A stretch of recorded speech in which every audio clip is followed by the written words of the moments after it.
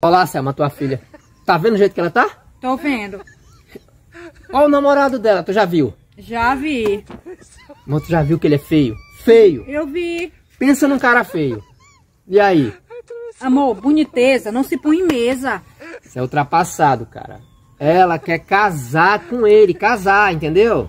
E o que que tem? Nós estamos falando do futuro da tua filha, da nossa filha. Uma, uma, uma moça bonita e ele um rapaz horrível, feio. Tu acha que isso vai dar certo, Selma? Vai dar certo. Por quê? Como vai dar certo? Eu tenho uma coisa pra te falar. É o quê?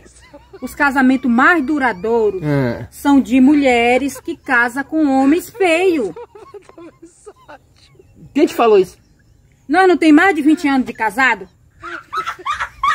Não falar de nós não, rapaz. Nós estamos vivendo até hoje. Tu é besta, é, pra falar, é cuidar da tua filha, vem cuidar do nosso casamento, cara. E pra que melhor exemplo? Hum, rapaz,